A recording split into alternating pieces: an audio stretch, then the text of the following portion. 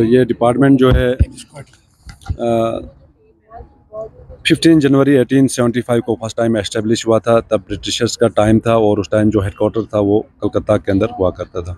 और उसके बाद 1944 के 44 में हेडकोार्टर जो शिफ्ट किया गया दिल्ली के अंदर और 1949 में डब्ल्यू का मेंबर बन गया इंडिया मेट्रोलॉजिकल डिपार्टमेंट और तब से जो है ये डिपार्टमेंट जो है चल रहा है पूरा रडार्स और सेटेलाइट का जो एरा है वो नाइनटीन एटीज़ के बाद शुरू हुआ और आज की डेट में almost thirty six radars throughout the country हैं। अलग अलग सेटेलाइट्स भी ऑलरेडी हमारे चल रहे हैं।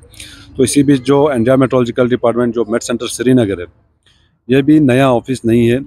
ये महाराजा के टाइम से 1891 से चल रहा है, जो मेट्रोलॉजिकल ऑब्जर्वेटरी है श्रीनगर का।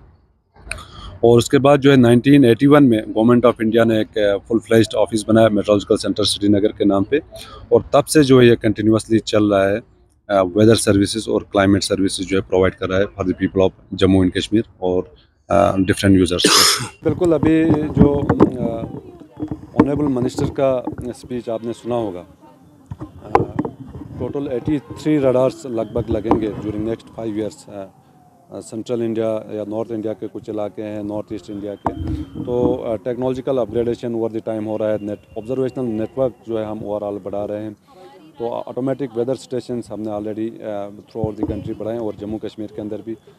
कमिंग डेज़ में ऑटोमेटिक स्नो गेजेस जो है लग रहे हैं, जिसमें आपका बर्फ़बारी भी जो है आपका ऑटोमेटिकली पता चलेगा। आपको डायरेक्ट वेबसाइट में डाटा आ जाएगा कि कितना फीट या इंच में आपका स्नोफॉल हुआ है। तो ट्रायल बेसिस पे हम दो ऑलरेडी इंस्टॉल कर रहे हैं श्रीनगर के अंदर और पहलगाम के अंदर, जिसके, जिसमें जो आपको बर्फ़बारी के बारे में वो ऑब्जर्वेशंस दे पाए।